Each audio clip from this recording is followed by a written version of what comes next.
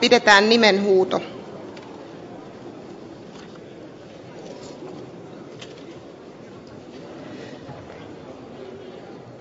päiväjärjestyksen ensimmäisenä asiana on suullinen kyselytunti jossa esitetään kysymyksiä ministereille.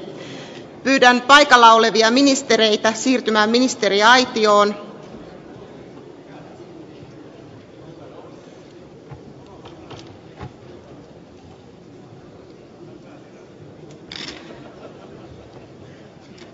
pyydän niitä edustajia jotka haluavat esittää kysymyksiä ministereille nousemaan seisomaan ja painamaan p painiketta kyse on siis paikalla olevista ministereistä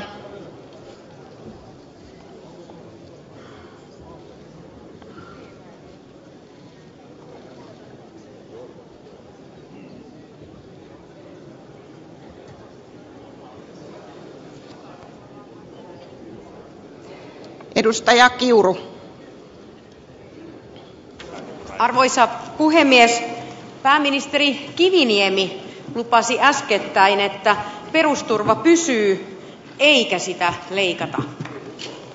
pelkkien vaalisanojen taakse on nyt turha piiloutua sillä teiltä pääministeri odotetaan myös tekoja ja valintoja sanojenne tueksi. tekojen puutteesta löytyy kyllä esimerkkejä tuorein eiliseltä. Te siis lupaatte yhtä ja toimitte lopulta toisin.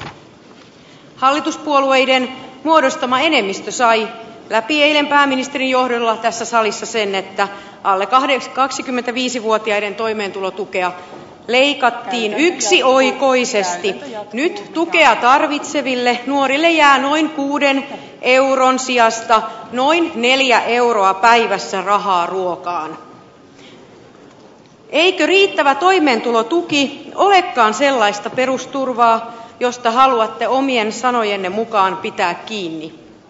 arvoisa pääministeri miten te nyt selitätte toimintanne ja puheiden välistä ristiriitaa?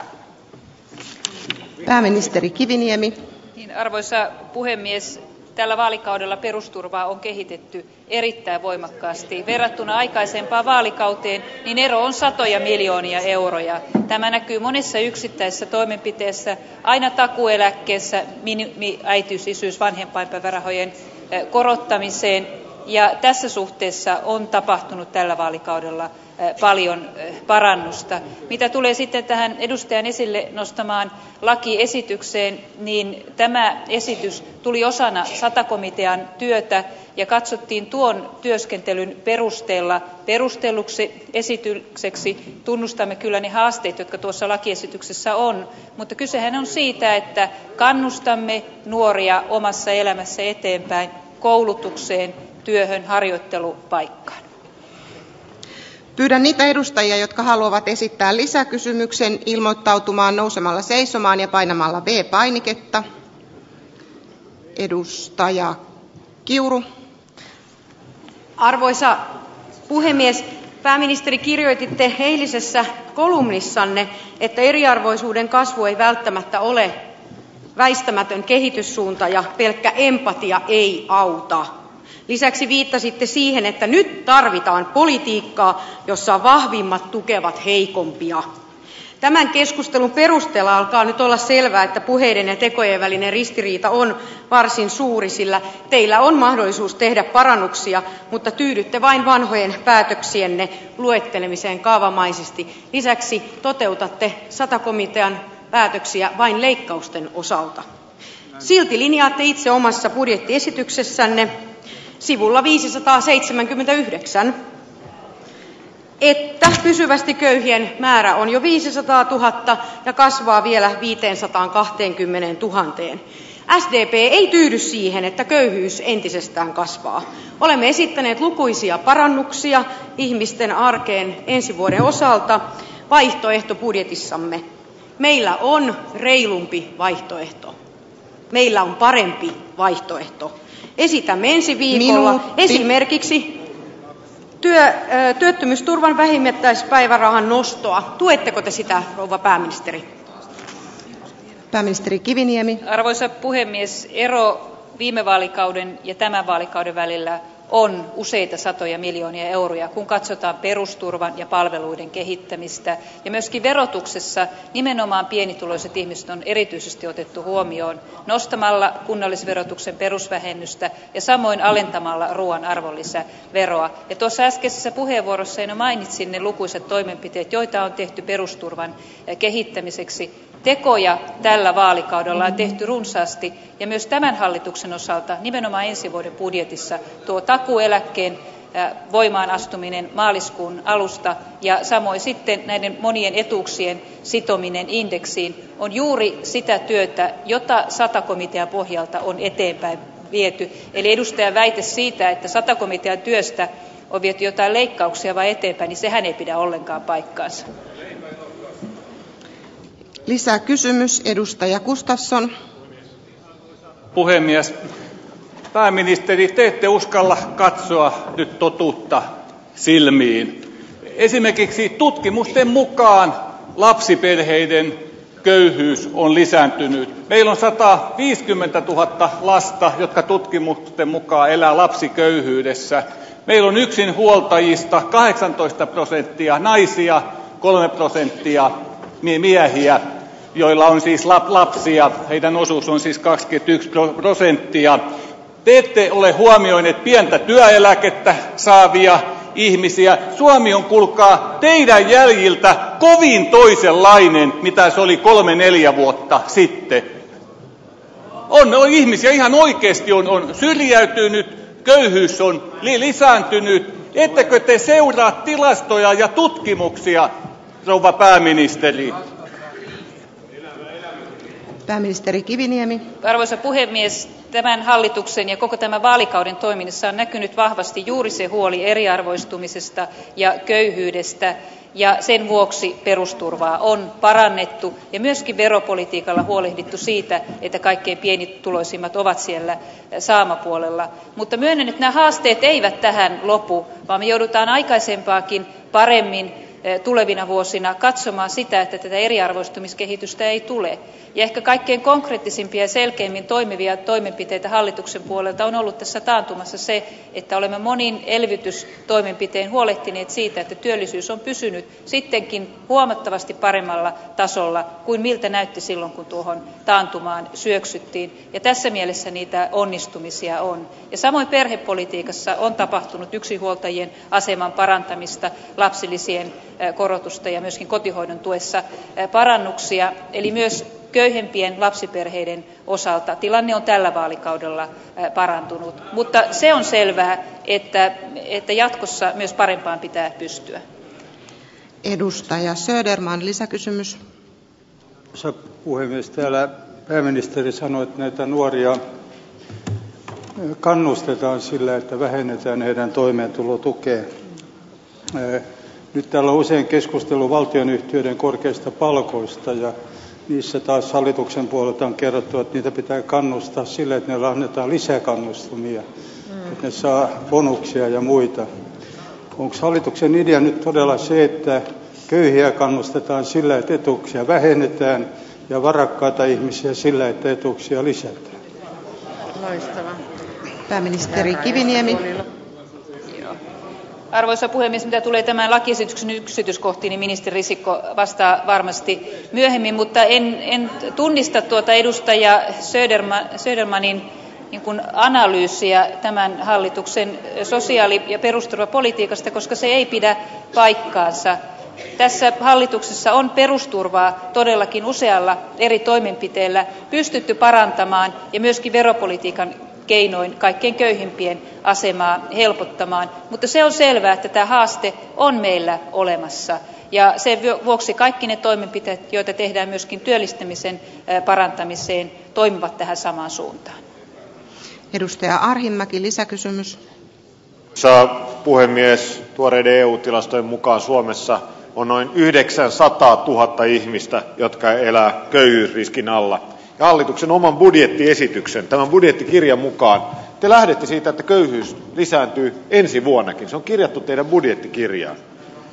miten on mahdollista että ei edes yritetä torjua köyhyyttä vaan hyväksytään se ja kirjataan vielä budjettikirjaan että köyhyys lisääntyy? ja nyt kun on kysymys siitä että mistä tämä köyhyys johtuu niin suurin syy siihen on surkean alhainen työmarkkinatuen taso se on jäänyt jälkeen noin kolmekymmentä prosenttia yhdeksänkymmentä luvun puolivälistä kolmekymmentä prosenttia työmarkkinatuen taso. Sata komiteasta tuli yksi erittäin hyvä esitys nimittäin työmarkkinatuen tarveharkinnan poistaminen. Eli jokaisella ihmisellä olisi oikeus työmarkkinatukeen työttömyyden miksi tätä? Miksi tätä hallitus ei ole toteuttanut? Mutta sen sijaan lex soininvaaran osmo soininvaaran esityksen siitä että minimitoimeentuloa leikataan jopa neljäkymmentä prosenttia minimitoimeentuloa mitä teidän omatunto ensi kaudella antaakaan leikkaa jos te olette nyt jo valmiita leikkaamaan kaikkein köyhimmiltä kaikkein pienintä tukea? Muistuttaisin edustajia että puheenvuorot ovat minuutin mittaisia. Meillä on lukuisia pyyntöjä ja aikaa on vähän joten ehdimme enemmän jos pysymme siinä minuutissa tai mieluummin alle. Ministeri rehula. Rouva puhemies väitteet siitä että tällä vaalikaudella ei olisi sosiaaliturvaan panostettu ei olisi panostettu ensisijaisiin etuuksiin ne ovat vähintäänkin virheellisiä ellei muunneltua totuutta. Vuositasolla vuonna kaksituhattayksitoista tässä maassa käytetään lähes kuusisataa miljoonaa euroa sosiaaliturvaan enemmän kuin käytettiin tämän vaalikauden alkaessa. Uutta rahaa lähes kuusisataa miljoonaa euroa uutta rahaa. Yksittäisen etuuden kohdalla edustaja arhinmäki sosiaaliturvan uudistamiskomitea teki viisikymmentäkuusi ehdotusta joista lukumääräisesti on reilusti yli puolet toteutettu. Työmarkkinatuen tarveharkinnan osalta nyt eduskunnan ensi viikolla käsittelemä budjetti tarveharkinnan tulorajat nousevat sille tasolle kuin ne kuuluu. Ja se on asia selvästi eteenpäin siinä mitä on toivottu. Edustaja räsänen vasta kysymys. Rouva puhemies ongelmana koulutuksesta ja työelämästä pudonneiden nuorten kohdalla on se että heillä on taustalla monenlaisia sosiaalisia ongelmia mielenterveysongelmia koulukiusaamista oppimisvaikeuksia. Ja kyllä tuolla valiokunnassa kävi selväksi se että kunnissa ei tällä hetkellä ole riittävästi sosiaalitoimessa resursseja tukea ja auttaa näitä nuoria eteenpäin. Ja silloin on aika kohtalokasta jos vain annetaan keppiä eikä pystytä heitä tukemaan. Ja kysyn pääministeri eikö teitä huolestuta se että tällä hetkellä kasvava joukko nuoria ihmisiä alle kolmekymmentäviisi vuotiaita jää pysyvästi työkyvyttömyyseläkkeelle mikä tuottaa todella suuret kustannukset yhteiskunnalle. Eli nyt tarvittaisiin panostusta nimenomaan palveluihin sosiaali ja terveyspalveluihin jotta pystyttäisiin ennalta ehkäisemään sekä koulutuksesta että työelämästä putoamista arvoisa puhemies olen kysyjän kanssa aivan samaa mieltä siitä että on erittäin huolestuttavaa se että nuoret ihmiset työelämässä olevat ihmiset jäävät pois työelämästä masennuksen takia joutuvat työkyvyttömyyseläkkeelle. Mutta juuri tämänkin ongelman voittamiseksi on sosiaali ja terveysministeriössä ministereiden johdolla tehty lukuisia toimenpiteitä. Mutta ennen kaikkea kyse on myös siitä että kehitetään työelämää että meidän työelämän pitää olla sellaista että siellä on hyvää johtamista hyvää töiden organisointia että siellä on riittävästi joustoja jota kautta ihmiset jaksavat työelämässä eivätkä joudu työkyvyttömyyseläkkeelle varsinkaan nuorina. Lisäkysymys edustaja guzenina richardson.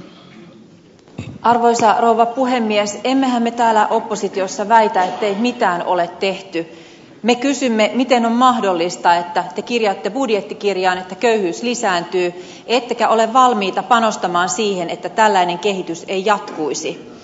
On hyvin erikoista että pääministeri esittää julkisuudessa hurskaita toiveita ja monet kansalaiset ihmettelevätkin että eikö pääministeri tiedä että hän istuu hallituksessa. Hänen ei tarvitse tyytyä toivomaan. Hän voi toimia.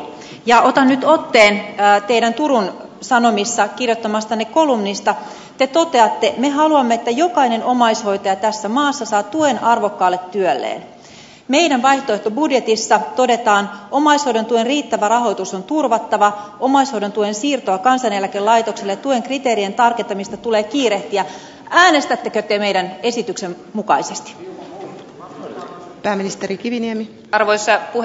tuossa ensi vuoden budjetissa on lukuisia toimenpiteitä joihin äsken viittasin. Aina takuueläkkeestä ja perusturvaetuuksien indeksisidonnaisuuksista lähtien myöskin perusvähennyksen korottamista jolla nimenomaan parannetaan pienituloisten asemaa.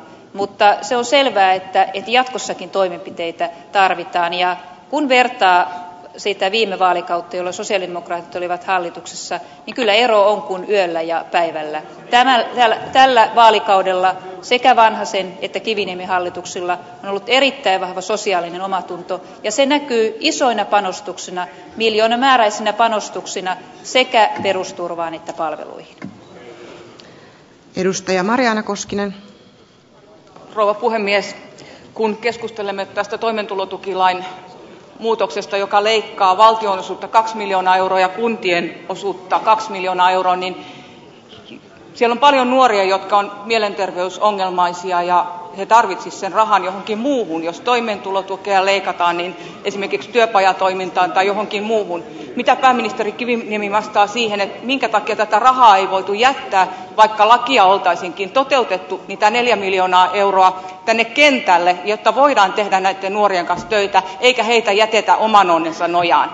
kyllä tällä kaudella keskusta on hoitanut hyvin maatalouspolitiikkaa. turkistarhaajat ovat saaneet lomituspalvelunsa samaten hevostilalliset saivat myös lomituspalvelunsa yli kaksi miljoonaa euroa meni näihin toimenpiteisiin.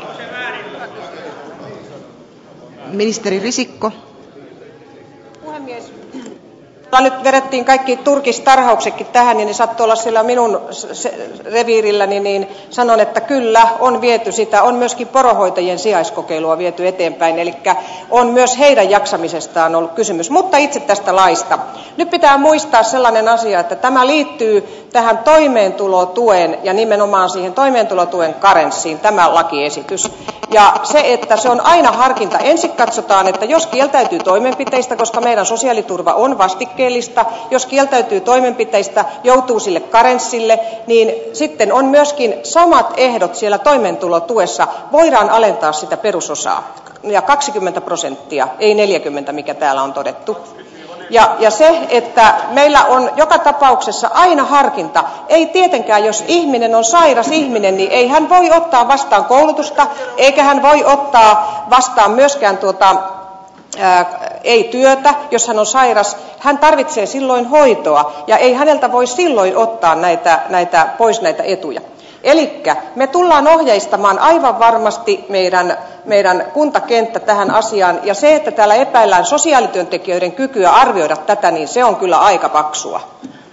Edustaja Lapintie. Rouva puhemies, en tässä nyt epäile sosiaalityöntekijöiden mahdollisuuksia arvioida, vaan sitä, että siellähän on aivan liian vähän sosiaalityöntekijöitä. Ei heillä ole aikaa paneutua kaikkien nuorten ongelmiin. Ja vaarana tässä laissa on nimenomaan se, että sitä käytetään säästötoimenpiteenä automaattisena leikkauksena ja se on neljäkymmentä prosenttia se maksimi. te sekoitatte nyt työmarkkinatuen ja toimeentulotuen. Toimeentulotuen summa on neljäsataaseitsemäntoista euroa kuukaudessa. minusta on aivan käsittämätöntä että hallitus ja sata kansanedustajaa täällä ovat sitä mieltä että vielä sitäkin summaa voidaan pienentää ja samaan hengenvetoon puhutte masennuksesta. minä väitän että näin pienillä summilla sinnittely aiheuttaa sitä masennusta. tämä oli todella epäoikeudenmukainen laki ja aivan käsittämätöntä että olette vienyt sen läpi. Eikö teiltä omatunto soimaa? aiotteko tuoda näitä parannuksia sitten niin että lapsiperheiltä ei vähennetä lapsilisää jos he saavat toimeentulotukea? Pitää muistaa että toimeentulotuen perusosaa voi alentaa jo tällä hetkellä määrätyistä syistä ja siellä on ihan samat perusteet nimenomaan sen toimeentulo tai tuon työttömyyspäivärahan eväämisen ihan samat perusteet. tähän tulee nyt vain lisäksi se koulutus joka on sieltä puuttunut ja kysymyshän ei ole siitä että kaikille tämä nyt tapahtuu näin ja tässä on vielä se hyvä puoli että tässä on otettava eräällä lailla sosiaalityöntekijöiden on laadittava suunnitelma miten saadaan elämä raiteilleen tämän henkilön kohdalla ja ennustan että meillä sosiaalityöntekijät ovat kyllä niin osaavia ettei varmasti ketään jätetä heitteille. Edustaja Hiltunen. Puhemies, köyhyyden lisääntymisestä kertoo myös se, että yksin pääkaupunkiseudulla on tällä hetkellä yli viisikymmentäkolme tuhatta ihmistä jotka saavat toimeentulotukea. Se on yli kolmetuhatta ihmistä enemmän kuin oli vuosi sitten. Ja on myös nähtävissä se että aika jolloin ihmiset ovat riippuvaisia toimeentulotuesta pitenee minua huolestuttaa nyt hallituksen vastauksissa se että hallitus ei tunnu tiedostavan tätä tilannetta joka on todellisuutta tänä päivänä. Eli minä kysyn vielä ministeri rehulalta ja sosiaali ja terveysministeriltä että aiotteko te todella perehtyä tähän tilanteeseen? Ei riitä että katsotte vain budjetin meno ja tulokohtia. Puhemies jos hallitus ei tiedostaisi tätä tilannetta ei niitä ensisijaisten etuuksien muutoksia mitä ensi vuonnakin tehdään varmasti tänne olisi esitetty. Se että kahdeksallekymmenelletuhannelle kansaneläkkeen saajalle tulee takuueläke kaikkein pienimpiä työeläkkeitä saavia on noin neljäkymmentätuhatta joita takuueläke koskettaa. Perhe etuudet sidotaan indeksiin. Kyse on siitä että perhe etuuksien ostovoima säilyisi. Nämä ovat esimerkkejä työmarkkinatuen tarveharkinnan tulorajojen nostaminen sille tasolle jolle ansiotason nousu edellyttää. Nämä ovat niitä toimenpiteitä joilla pyritään puuttumaan siihen että ensisijaisten etuuksien taso olisi riittävä. Hallitus varmasti tietää mistä tässä on kysymys eikä juosta karkuun. Lipposen vanhasen kiviniemen hallitusten aikana tuloerot ovat kasvaneet rajusti rikas rikastuu köyhä köyhtyy. Perussuomalaiset eivät tätä hyväksy. Maamme on selvästi jakautumassa kansalaisyhteiskuntaan. Erittäin hyvätuloisten tulot kasvavat samaan aikaan kun yhä useammat eivät tule toimeen työstään saamalla palkalla. Köyhien määrä on kasvanut yhdeksänsataantuhanteen heistä suuri osa elää perusturvan varassa. Perusturvaetuuksia on kansantuotteen kaksinkertaistumisesta huolimatta leikattu kolmasosalla viidessätoista vuodessa. Arvoisa pääministeri jääkö köyhyyden torjunta ja riittävä perusturva seuraavan oikeudenmukaisen hallituksen ykköstehtäväksi arvoisa puhemies toisin kuin kysyjä väittää niin perusturvaa ei siis ole leikattu vaan sitä on parannettu tällä vaalikaudella usealla eri toimenpiteellä. Ja siinä mielessä on myöskin pyritty näitä tuloeroja vähentämään. Mutta hallitus ei missään tapauksessa vähättele köyhyyttä syrjäytymistä ja eriarvoisuutta. Ja juuri siksi monipuolisella keinovalikoimalla pyritään tähän ongelmaan puuttumaan. se edellyttää ei ainoastaan menojen kohdistamista perusturvaan ja verotuksessa tehtäviä muutoksia sillä tavalla että myöskin pienituloiset hyötyvät kuten kunnallisverotuksen perusvähennyksen korottaminen ja ruuan arvonlisäveron alentaminen. Myöskin sitä että palvelut ovat kunnissa. Ja juuri siksi myös kunnille on taantumasta huolimatta kohdistettu lisärahaa että myöskin palvelut pystytään järjestämään.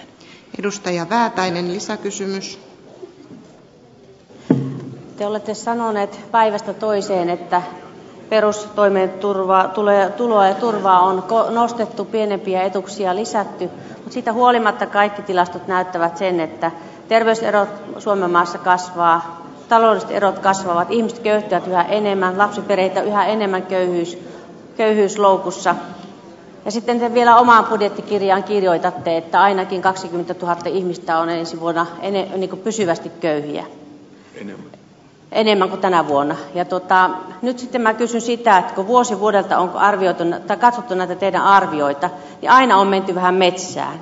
Yhä huonommin ihmiset voivat. Niin voiko tähän teidän arvioon nyt edes luottaa ensi vuodelta että se jää kahteenkymmeneentuhanteen se nousu? Nouseeko vielä enemmän? Ja mitä nämä toimet mitkä nyt sitten ministeri rehula esitteli että ensi vuodella on tulossa niin millä tavalla ne muuttavat tätä köyhyystilannetta suomessa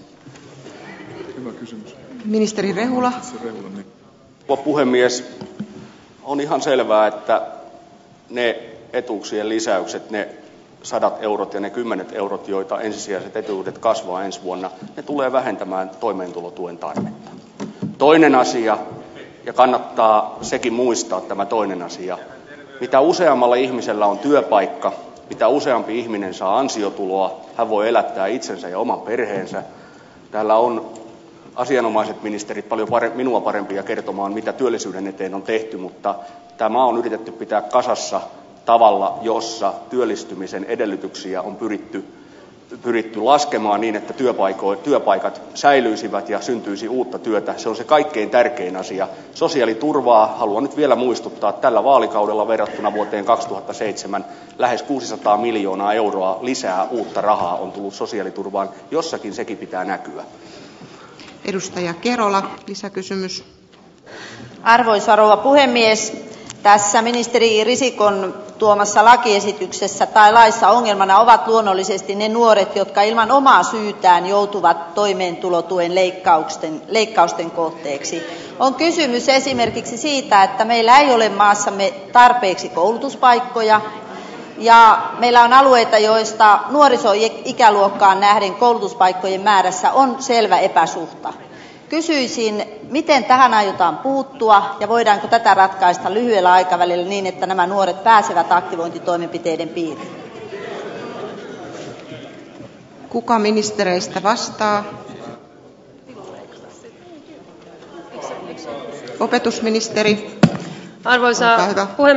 tällä hallituskaudella on todella merkittävästi lisätty koulutuspaikkojen määrää kaiken kaikkiaan muun muassa ammatilliseen koulutukseen yli kaksitoistatuhatta paikkaa ja niitä on nimenomaan kohdennettu sen mukaisesti missä on ollut suurta nuorisotyöttömyyttä ja missä on ollut nuoria vailla ammatillista koulutusta. ennen kaikkea nuo kohdennukset on tehty pääkaupunkiseudulle sekä eräisiin muihin kasvukeskuksiin joissa tuota hakupainetta on tältä osin ollut. Meillä kyllä määrällisesti paikkoja on valtakunnallisesti riittävästi mutta jatkuva haaste on ilman muuta siitä miten saadaan nuorten omat toiveet kohtaamaan koulutustarjonnan ja työpaikkavaatimusten kanssa ja sen ikään kuin työelämän odotusten kanssa. tätä työtä tehdään jatkuvasti mutta määrällisesti paikkoja kyllä on mutta nuoret tarvitsevat ohjausta ilman muuta siinä että löytävät oikean alan. nuo viimeiset ammatillisen koulutuksen viisisataa paikkaa ovat juuri nyt jaettavana ja ne myös kohdennetaan sen mukaisesti missä on ollut korkein täyttöaste ja eniten hakijoita. myönnän vielä viimeisen lisäkysymyksen tähän keskusteluun kysymyksen ensimmäisenä esittäneelle edustaja kiurulle olkaa hyvä. arvoisa puhemies tämä sympaattinen valittelu ja vanhojen asioiden luettelu ei nyt enää riitä sillä teidän toimenne eivät ole johtaneet toivottuun lopputulokseen. neljä vuotta on nyt kohta kulunut ja sen aikana arvovalinnat ovat käyneet varsin selviksi. tämä hallitus on systemaattisesti unohtanut esimerkiksi kaikkein köyhimmät toimeentulotuella elävät joiden asemaan ei ole tullut minkäänlaisia muutoksia. arvoisa pääministeri köyhyys lisääntyy entisestään ja te olette kirjanneet sen jopa tähän omaan budjettiesitykseenne trendiksi jota ei aiotakaan uusilla toimenpiteillä pysäyttää. ja ministeri risikko se on kyllä nyt niin että toimeentulotukileikkaus on kaksikymmentä neljäkymmentä prosenttia siitä eilisellä päätöksellä. Et nyt minusta kaikkein tärkeintä on että havahtuisitte tähän opposition hätään. köyhyys lisääntyy tarvitaan toimenpiteitä. vakavasti pääministeri kysyn teiltä aiotteko toteuttaa sosialidemokraattien pyynnön työttömyysturvan vähimmäispäivärahojen nostosta? pääministeri kiviniemi puhemies hallitus on tällä vaalikaudella sekä edellinen että tämä hallitus monilla toimenpiteillä osoittanut sen että me otamme todellakin vakavasti pienituloisten ja köyhien aseman. taantumasta huolimatta olemme panostaneet nimenomaan kaikkein heikoimpien asemaan ja se näkyy huom. ensi vuonna maaliskuussa voimaan astuvilla korotuksilla takuueläkkeeseen samoin kuin näihin pienimpiin etuuksiin. Ja nämä parhaimmillaan kun katsoo myös aikaisemmin tehtyä päätöstä pienimpien äitiys isyys ja vanhempainpäivärahan korottamisessa tekee jopa sataseitsemänkymmentä euron korotuksen kuukaudessa nimenomaan heille joiden toimeentulo on ollut sitä kaikkein pienintä. samoin tuo takuueläkkeen korotus reilusti yli sata euroa parhaimmillaan korotusta näihin pienimpiin eläkkeisiin plus ne veromuutokset ovat kaikki kohdistuneet juuri näihin kaikkein pienimmällä ja toimeen tuleviin mutta siitä huolimatta me emme vähättele tätä ongelmaa. olemme sitä mieltä että köyhyys ja syrjäytyminen on yksi niistä haasteista joka pitää jatkossakin ottaa vakavasti. Tämä kysymys on tällä erää loppuun käsitelty. siirrytään seuraavaan kysymykseen. edustaja virtanen ministeri risikko jatketaan harjoituksia toitte vuosi sitten tänne lakiesityksen jolla hoitajille myönnettiin reseptinkirjoitusoikeus ja hyvä niin siinä samassa yhteydessä troijan puuhevosena asiakasmaksulakiin ujutettiin muutos jolla hoitajien käynnistä voidaan periä maksu me vasemmistossa vastustimme silloin tätä esitystä ja vastustamme tietenkin edelleenkin. Valiokunnassa maksua perusteltiin sillä että se perittäisiin vain lääkärissä käyntiä korvaavilta hoitajalla käyneiltä.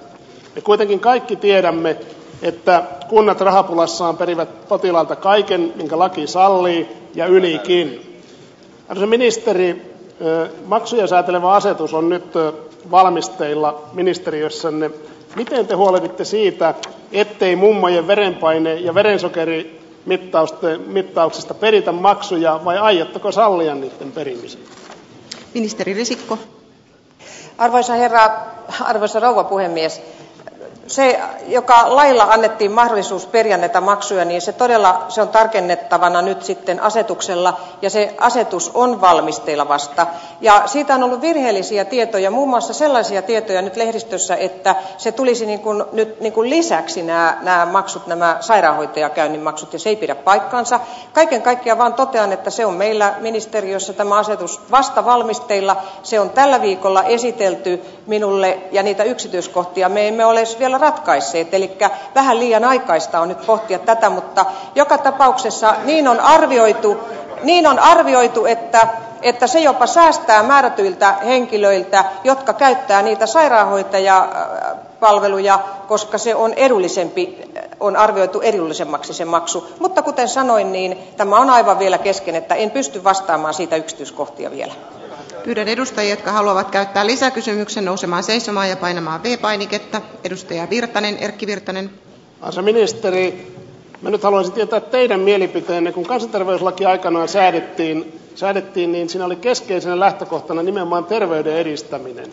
Ja siinä lähtökohtana oli se että sitä erityisesti edistetään sillä tavoin että nämä peruspalvelut pidetään maksuttomina. Terveyserot ovat varmasti suomalaisen terveydenhuollon suurin ongelma ja nimenomaan asiakasmaksuilla näitä terveyseroja on kasvatettu. Mikä on teidän kantanne ylipäätään asiakasmaksuihin suhteessa näihin terveyserojen kaventamiseen? Tuletteko jatkossakin esittämään lisää vielä terveyskeskusmaksuja nostettavaksi ja terveyseroja lisättäväksi ja vastatkaa nyt kuitenkin siihen kun varmasti aika moni mummo ja pappa ja moni muukin ihminen miettii että joutuvatko he kun he menevät terveyttä edistääkseen sinne mittaamaan verenpainetta niin mikä teidän oma mielipiteenne on siitä että pitäisikö niistä periä maksua vai ei? Ministeri risikko. Arvoisa rouva puhemies ei pitäisi elikkä todellakin nämä terveyden edistämiseen liittyvät käynnit niin ne ovat maksuttomia. Tässähän on kysymys siitä että on tätä työnjakoa nyt tehty että on näitä sairaanhoidollisia käyntejä. Siitä on kysymys että laki sanoo että voi periä. Ja nyt on tilanne se että kunnathan eivät ole tehneet päätöksiä ja se voi ryöstäytyä eri hintaisiksi nämä ja siitä syystä ollaan tekemässä sitä asetusta jotta ne voidaan yhtenäistää nämä maksut. Mutta olen myös sitä mieltä että ne maksut eivät saa lisätä asiakasmaksuja enempää kuin mitä tällä hetkellä terveyskeskusmaksut ovat. Lisäkysymys edustaja kyllönen. Arvoisa rouva puhemies asiakasmaksukattojen yhdistämisestä on käyty keskustelua jo vuosien ajan. ja kuten tässä jo aiemmin mainittiin asiakasmaksut kasvattavat terveyseroja ja eriarvoistavat kansalaisia. Minkälainen suhtautuminen ministereillä on asiakasmaksukattojen yhdistämiseen ja onko vielä tällä hallituskaudella tulossa lakimuutosta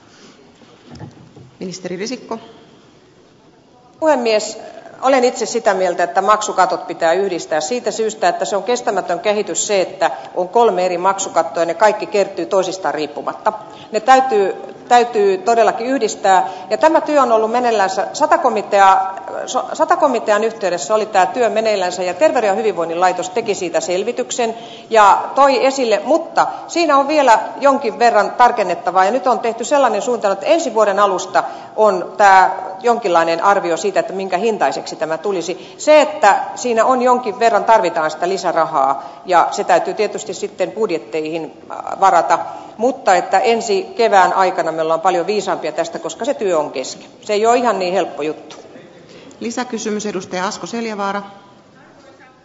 Puhemies edellinen kysyjä ei oikein tuntenut suomalaista sosiaalipolitiikkaa. Ja haluan nyt oikaista että siis sata komitean esityksiä on toteutettu kuusisataakolmekymmentäviisi miljoonalla vuodessa kuten ministeri rehula sanoi ja sitten taas edustaja virtanen on alan asiantuntija. Hän on istunut yli kymmenen vuotta sosiaali ja terveysvaliokunnassa mutta hän unohti kertoa että suomalainen potilas maksaa vain seitsemän kaksi prosenttia julkisen terveydenhuollon kustannuksista. Asiakasmaksut ovat varsin kohtuulliset Mä kysyisin ministeri Risikolta, milloin valmistuvat nämä hoitajat ja kuinka monta heitä on tulossa, joille tulee tämä reseptinkirjoitusoikeus? Ministeri Risikko. Arvoisa rouva puhemies, nythän tämä laki on juuri hyväksytty ja se tulee voimaan ensi vuoden alusta ja sitten tietysti myöskin se koulutus käynnistyy. Ja laadun varmistamiseksi todella se on tarkkaan harkittu ja sisältö normitettu että mitä se koulutus pitää pitää sisällänsä. Ihan kädenkäänteessä näitä, näitä reseptin kirjoittamis, rajattu reseptin kirjoittamisoikeuksin omaavia hoitajia ei valmistu on varmasti noin sanotaan vuoden kahden viiveellä niitä sitten tulee ja sitten se että myöskin jokainen työyhteisö päättää että kouluttaako he sinne omaan työyhteisönsä tällaisia henkilöitä ja tämähän lähtökohta on se että me voisimme sujuvoittaa palveluja ja, ja palvelujen saatavuutta lisätä. Edustaja Tennilä, lisäkysymys.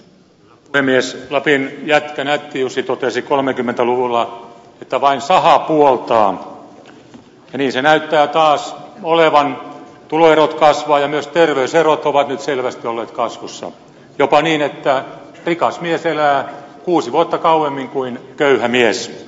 Ja tämä selittyy sillä, että se vaurain väki saa parhaan hoidon tässä maassa. Rahalla saa myös hyvää terveydenhoitoa. Ja perusongelma on siinä, että julkinen terveydenhoito, joka on se pienituloisen kansan terveydenhoitotapa, se on suuressa kriisissä rahapulan vuoksi. Siellä ei ole resursseja tarpeeksi, ei ole tarpeeksi hoitoväkeä, ei saada oikein enää terveyskeskuksiin lääkäreitäkään, kun maine terveyskeskusta on mennyt. Jos meinataan, että pienituloisten terveydenhoito paranee, kunnille pitää löytyä lisää resursseja. Onko tämä tälle hallitukselle ollut tuntematon asia vai miksi kuntien terveydenhoitotilanne on niin vaikea rahapulan vuoksi?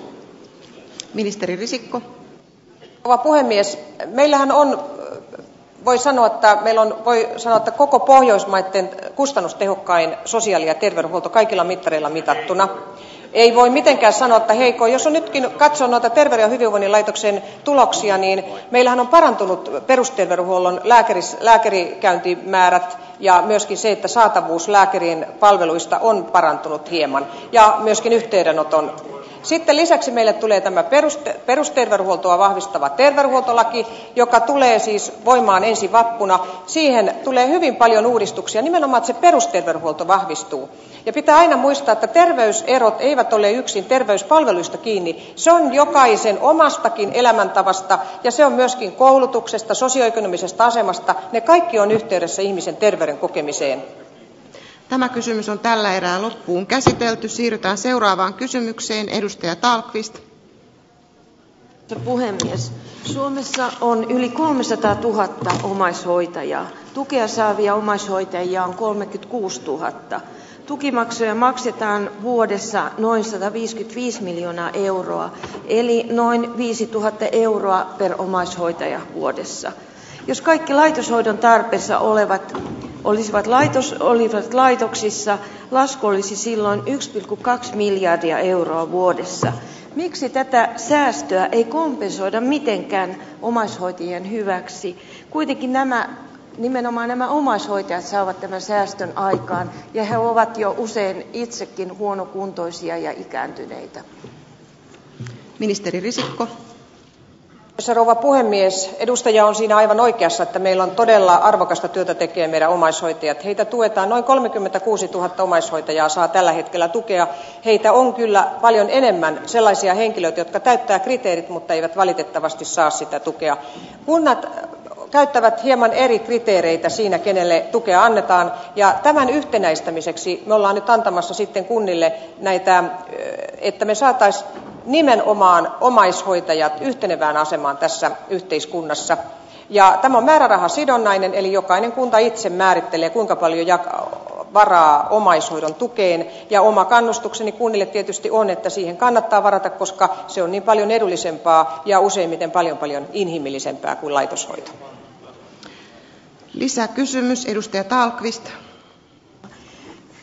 Mitä, haluaisin tietää, että mitä tapahtuu silloin, kun tämä ikääntynyt huonokuntoinen omaishoitaja itse sairastuu ja joutuu esimerkiksi laitokseen? Mitä tapahtuu tälle hoidettavalle? Me tiedetään kaikki, että kotihoidon resurssit eivät tähän riitä. Kuulin juuri erään helsinkiläisen kotihoitajan sanovan, että tämä on temppuhoitoa, mitä nykyään joudutaan tekemään. Aikaa ei yksinkertaisesti riitä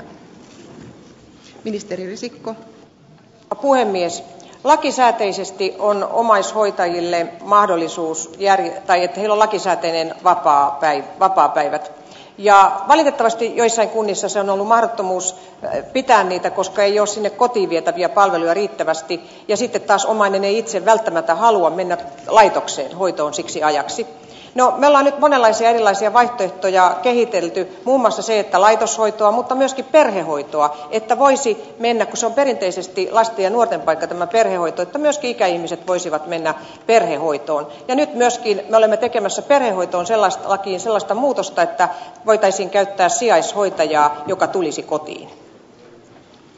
Lisäkysymys edustaja Rauhala. Mies.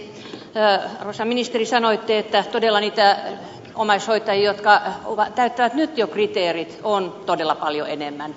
Niin voisiko ajatella niin, että ilman, että nyt me tarvitsemme uusia valtakunnallisia tarkennettuja äh, kriteeristöjä, että me saataisiin tämä subjektiiviseksi oikeudeksi. Jos se käsite on väärä, tämä subjektiivinen oikeus, jos jo nyt kuitenkin sanotaan, että kriteerit täyttäviä on nyt jo noin 300 000, niin eikö voi lähteä siitä, että he ovat silloin oikeutettuja jo nyt ilman mitään uusia selvityksiä tai kriteeristöjen tekemisiä siihen, että he saavat sen tuen ja pääsisivät tämän piiriin. Että voitaisiin siis jollakin muulla ratkaisulla, että odotetaan nyt tätä valtakunnallista, jota mä olen ymmärtänyt, että varmasti on ihan hyvä kyllä, mutta olisi välineitä muutenkin tämä ratkaista. Niin kuin totesin niin tällä hetkellä omaishoidon tuen määräraha on määrärahasidonnainen ja jokainen kunta päättää siitä itse. meillä on kuitenkin sellaisiakin kuntia jotka ovat tehneet päätöksen siellä kunnissa että kaikki kriteerit täyttävät saavat sen omaishoidon tuen. tällaisia esimerkkejä ovat sastamala ja pori muun muassa sitten meillä on kuntia semmoisia jotka kun rahat loppuvat vaikka kesäkuussa niin sitten loppuu myös omaishoidon tuki. Ja tästä tilanteesta tästä näistä monimutkaisuudesta ja eroavaisuudesta meidän pitäisi päästä eroon. Ja se että se muuttuu subjektiiviseksi oikeudeksi se on tietysti arvioitava että minkä hintainen se olisi. Ja tällä hetkellä siihen ei ole varattu rahaa. Me annamme valtionosuuksia ja me toivomme tietysti sen että kunnat käyttäisivät niitä inhimilliseen laadukkaaseen ja myös kustannustehokkaaseen hoitoon tämä kysymys on tällä erää loppuun käsitelty. seuraava kysymys edustaja vilkuna. arvoisa rouva puhemies kaikki tiedämme että biokaasu on mitä parhain uusiutuva polttoaine ja liikennekäytössä se on kaikkein parhaimmillaan vain siinä se aina ja vääjäämättä syrjäyttää fossiilista polttoainetta. edellinen eduskunta teki laajalla enemmistöllä valtiovarainministeriön vastustuksesta huolimatta päätöksen että biokaasuautot vapautetaan käyttövoimaverosta. perustana oli se että näin saataisiin jakeluasemien ja tuotanto käynnistymään. nyt valtiovarainministeriö kirjelmässään väittää että perusteet ovat kadonneet eikä ne mihinkään ole kadonneet koska ei ole mitään tämmöistä verkostoa vielä rakennettu. Kokoomuksen keskittämispolitiikkaan olennaisesti että yritetään estää kaikenlaisen uuden toimeliaisuuden ja uusien rahavirtojen syntyminen maaseudulle tällä lailla. Ministeri Katainen. Arvoisa puhemies, biokaasuautojen tai biokaasua käyttävien autojen verotus on laskenut dramaattisesti tämän hallituksen seurauksena. autoverotusta on muutettu vuotuista käyttömaksua on muutettu päästöihin perustuvaksi eli kaikki ne autoilijat jotka käyttävät vähäpäästöisiä autoja tai vähäpäästöisiä polttoaineita ovat tämän hallituksen päätöksistä hyötyneet merkittävästi rahaa. biokaasuun tulee uusi verokomponentti sen takia että hallitus ei halua valita yhtä teknologiaa tai yhtä tuotetta joka olisi tästä maailman ikuisuuteen parempi meidän mielestämme kuin joku toinen vaan että olemme muuttaneet koko polttoaineverojärjestelmän siten että kaikki ympäristöystävälliset polttoaineet ovat saman verotuksen piirissä tai oikeastaan kaikki polttoaineet saman verotuksen piirissä ja mitä vähempi on päästöjä sitä edullisempi verotus on. eli kokonaisuudessaan autoilu uusien puhtaiden polttoaineiden luominen niiden markkinoille pääseminen on tullut huomattavasti helpommaksi ja kannustavammaksi kuin takavuosina. Lisäkysymys edustaja Vilkuna. Rouva puhemies, kukaan niistä 178 allekirjoittajasta ei olettanutkaan, että se olisi verovapaa, käyttövoimaverovapaa maailman sivu. Kaikki tiesivät sen, että jos se tulee ja pidetään ja jakeluketju valmistuu ja laitteet yleistyy, niin sitten käyttövoimavero tulee. Tämänhetkisellä hintatasolla tämä käyttövoimaverosta vapautuminen olisi tehnyt 87 000 euroa. Vain kaksi tai kolme jakeluasemaa, jos olisi rakennettu, niin tämä vero olisi tullut jo takaisin ilman muuta.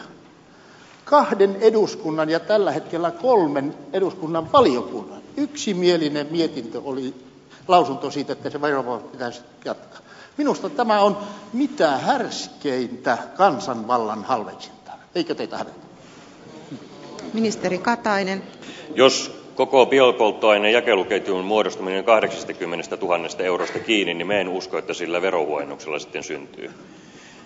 Me olemme luoneet ympäristöystävälliselle liikenteelle, ympäristöystävällisten polttoaineiden kehittämiselle ennen näkömättömät kannusteet alentamalla autojen verotusta siinä tapauksessa, että ne ovat ympäristöystävällisiä, vähäpäästöisiä, alentamalla vuotuista käyttömaksua ympäristöperusteisesti ja tekemällä koko polttoaineverojärjestelmän sen mukaiseksi että mitä ympäristöystävällisempi polttoaine on sitä huokeampi vero on. eli näillä kokonaisuuksilla varmasti pystytään pääsemään kotimaisiin polttoaineiden valmistuksiin ja jos todella tämä biopolttoaine polttoaineen jakeluketjun muodostuminen on 80 000 eurosta kiinni niin minä en usko että siihen kyllä enää erityistä verotukea tarvitaan. kyllä suomessa semmoista yrittäjyyttä riittää joka ottaa sen sen riskin, että lähtee tähän, tähän kauppaan mukaan. Tämä kysymys on tällä erää loppuun käsitelty. Seuraava kysymys, edustaja Jaskari. Arvoisa rouva puhemies, Suomessa on paljon luovan alan ihmisiä ja luovan talouden ja kulttuurialojen kasvupotentiaali maassamme on varsin merkittävä ja myöskin suomalaisella kulttuurilla on, erittäin hyvät vientinäkymät ja, kysyntää myöskin riittää. Me tarvitaan myöskin näitä uusia kasvualoja Suomeen entisten rinnalle. Ja tarvitsemme ehkä mielestäni Suomen tällaiseksi positiiviseksi pilottimaaksi luovan alan tekijöille. Mikäli Suomi haluaa kuitenkin olla tällainen hyvä ja kannustava maa idearikkaille ihmisille, työstä on saatava korvaus. Nyt ei näytä kovin hyvältä tämä korvaustilanne, koska esimerkiksi hyvitysmaksut, eli maksut, jos musiikin tekijä tuota, tekee, musiikin ja sitten soitetaan radiossa, niin ne ovat romahtaneet ne tulot 12 miljoonasta kuuteen miljoonaa. Syykin on selvä. Yhä uusia laitteita soveltuu esimerkiksi musiikin kopiointiin. Tässä syystä niin työntekijät, varsinaiset tekijät eivät saa korvausta. Kysynkin ministeri Vallinilta, että miten ja milloin tähän hyvitysmaksujen piiriin kuuluvaa laitekantaa päivitetään sillä tavalla, että myöskin uusien laitteiden todellista kopiokäyttöä siitä katsotaan korvaus. Arvoisa puhemies, aivan totta, että luovasta työstä pitää saada palkkaa ja korvausta ja valtion kulttuuribudjetti on kyllä tästä huolehtinut tällä vaalikaudella mutta mitä näihin hyvitysmaksuihin tulee niin on totta että tämä nykyinen järjestelmän ylläpitäminen ehkä jopa sen uskottavuus on käynyt entistäkin haasteellisemmaksi sen takia, että laitekanta on kehittynyt hyvinkin nopeasti, siis että talletusalustojen laatu on kehittynyt hyvinkin nopeasti.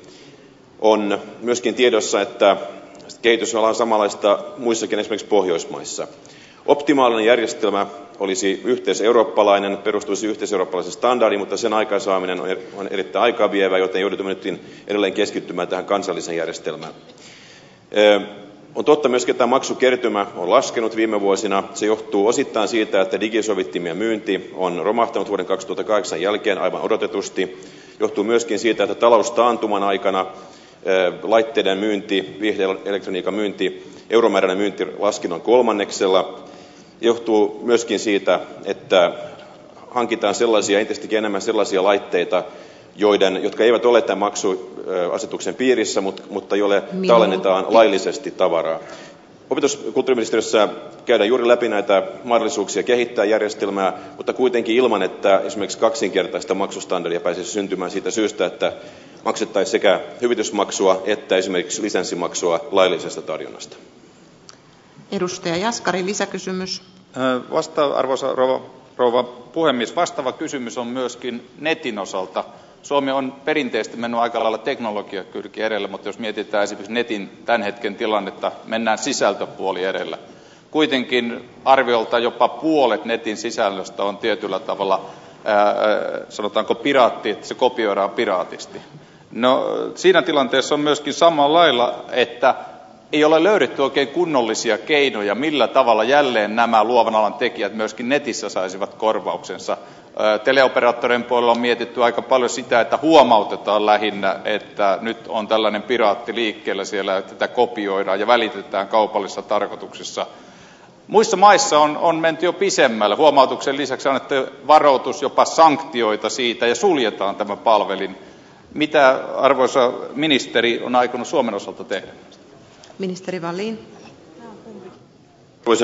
Kyllä Suomessakin tätä pohdittu aika kauan. Vuonna 2008 vuoden syksyllä ää, aloitettiin niin sanotut toimialaneuvottelut luovien alojen toimijoiden kanssa, jossa yhdessä pyrittiin katsomaan, mitä mahdollisuuksia löytyisi, torjua nettipiratismia ja edistää tätä laillista ää, nettikauppaa, turvallista nettikauppaa.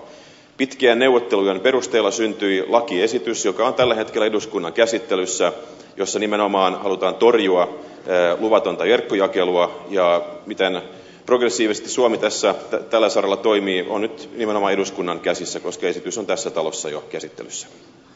Keskustelu on tällä erää päättynyt. Seuraava kysymys, edustaja Kasvi.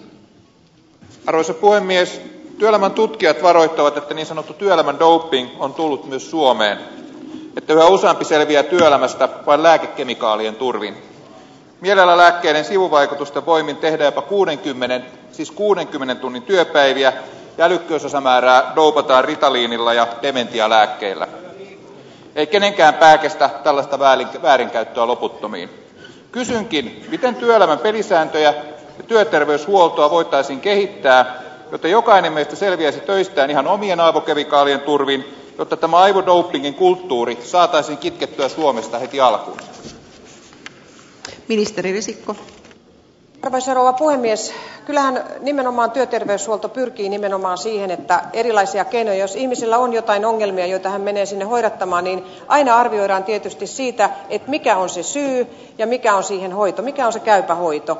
Nyt te puhutte tällaisesta aivodopingista, eli siitä, että että ihminen käyttää jotain piristeitä tai tämän tyyppisiä, niin kyllähän siinä henkilöllä on joku ongelma silloin. Ja toivoisin tietysti, että hän keskustelee siitä työterveyslääkärin ja hoitajan kanssa. Se, että ei tuohon teidän kysymykseen valitettavasti ei voi antaa yksiselitteistä vastausta, että miksi joku käyttää niitä. Joku syyhän siinä täytyy olla, että hän käyttää sitä, mutta varmasti kannattaa. Meillä on todella korkeatasoinen työterveyshuolto.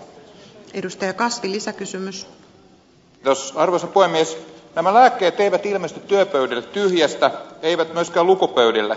Yhdysvalloissa on nimittäin havahduttu Ritalinin käyttöön yliopistojen pääsykokeissa ja tenteissä. Suomen tilannetta tässä suhteessa ei tiedä kukaan. Mutta joku nämä lääkkeet on aina jollekulle määrännyt. Kysynkin, miten jatkossa turvataan se, että näitä lääkkeitä käytetään vain sairauksien hoitoon ettei niitä kulkeudu työpaikoille ja oppilaitoksiin henkisen suorituskyvyn väliaikaiseen keinotekoiseen nostamiseen? Ministeri Risikko. puhemies se että jos ne ovat reseptilääkkeitä niin on aivan totta että ne on joku sinne määrännyt ja tietysti en pysty ottamaan kantaa yksittäisiin tapauksiin miksi lääkärit ovat määränneet niitä lääkkeitä tietysti juuri se että näistä keskustellaan näistä puhutaan ja meillä on eri sairauksien käypä hoito ohjeita meillä on hyvin korkeatasoinen työterveyslääkärien osaaminen ja varmasti että tästä keskustellaan niin se pistää miettimään kuinka paljon itse kukin niitä reseptejä sitten kirjoittaa. hyvä että asia nousee keskusteluun mutta jotenkin ainakin mitä olen nyt keskustellut meidän työterveyslääkärien kanssa ja työterveyslaitoksen kanssa niin ei suuren suuri ongelma se suomessa tällä hetkellä ole mutta tärkeää että keskustellaan ettei tulekaan. kysymys on loppuun käsitelty. seuraava kysymys edustaja nylund. Värderade fru talman, arvoisa rouva puhemies. Trafiksäkerhetsverket Trafi har från den 15.11 fått en ny organisationsmodell och samtidigt så kommer man att genomföra en regionalisering fram till år 2015 där man flyttar personal till Rovaniemi bland annat. Eh, två väldigt viktiga funktioner som Trafi handhar så är fartygsregistret och sjömansregistret. Trafin lehdistötiedotteen mukaan organisaatiouudistuksella on tavoitteena hyödyntää synergioita. Mitä tällainen synergia toteutuu esimerkiksi alusrekisteröinnin suhteen, jos saman asian valmistelija istuu Rovaniemellä ja henkilö, joka vahvistaa päätöstä, istuu Helsingissä? Ministeri Vehviläinen arvoisa puhemies tämä trafin organisaation muutos todellakin astui hetki sitten voimaan ja siinä on monia seikkoja. Tietysti takana osittain tuottavuusohjelman toteuttaminen osittain tämän alueellistamisen toteuttaminen ja osittain myös uudet tehtävät mitä eun parista tulee. Mutta sitten tähän huoleen siitä että näiden rekisteritehtävien osalta mitä hoidetaan rovaniemellä niin olen täällä jo kerran aiemmin vastannut siihen että olipa liikkumismuoto ilmassa merellä tai maassa niin se rekisteröintihomma voidaan tehdä siellä rovaniemellä. Ja kun viittasitte näihin kaksinkertaisiin miehityksiin niin se on vain niin että monta kertaa siinä alueellistamisen alussa sellaista on. Ja se ollaan tiedostettu ja se tulee tietysti jonkun verran maksamaan mutta sen haluan todeta painokkaasti että kenenkään joka rekisteröi venettään tai alustaan ei tarvitse todellakaan mennä sinne rovaniemelle vain vaan ne palvelut ovat aina saatavilla siinä niin sanotusti lähellä ja käden ulottuvilla. Tämä kysymys on loppuun käsitelty ja kyselytunnin viimeinen kysymys edustaja Pentti Oinonen. Tutkimusten mukaan joka kolmannelta yli 64-vuotiailta puuttuu joko yksittäisiä hampaita tai hampaat kokonaan. Hammasproteesit maksavat toimenpiteen laajuudesta riippuen 500-2000 euroa näin ne perussuomalaiset hoitavat eläkeläisten asioita, mutta hallituksen edustajia naurattaa. 500-2000 euroa, mikä on erityisesti köyhille eläkeläisille mahdoton tilanne. Jos molemmat puolisot joutuvat hankkimaan proteesit, puhutaan kaksinkertaisista kuluista. Hammasproteesit jäävätkin usein niiden kalleuden vuoksi hankkimatta. Tällä hetkellä vain rintamaan veteraanit ja miinanraivajat ovat oikeutettuja kelakorvauksiin proteesien hankinnassa. Kysyisin asianomaiselta ministeriltä, mihin toimenpiteisiin hallitus ryhtyy saattaakseen hammasproteesit kelakorvattavuuden piiriin kaikkien eläkeläisten kohdalla? Ministeri Rehula. Mies, ministeriössä ei ole kaavailuja, jossa kelakorvaus laajennettaisiin hammasproteesien osalta nykyistä laajemmalle. Tämä kysymys on loppuun käsitelty. Kyselytunti on päättynyt. Siirrytään päiväjärjestyksen muihin asioihin. Päiväjärjestyksen toisena asiana on puhemiesneuvoston päätöksen mukaisesti käytävä ajankohtaiskeskustelu aiheesta sopimusten Venäjä 2030. Esittelypuheenvuoron asiasta käyttää keskustelualoitteen ensimmäinen allekirjoittaja, tulevaisuusvaliokunnan puheenjohtaja edustaja Marja Tiura. Sen jälkeen seuraa ohjausryhmän puheenjohtajan edustaja Päivi Lipposen puheenvuoro ja valtioneuvoston puheenvuoron käyttää pääministeri Mari Kiviniemi. Näiden puheenvuorojen jälkeen käytävässä keskustelussa puheenvuorot varataan P-painikkeella ja myönnän puheenvuoroja vajaan kahden tunnin ajan.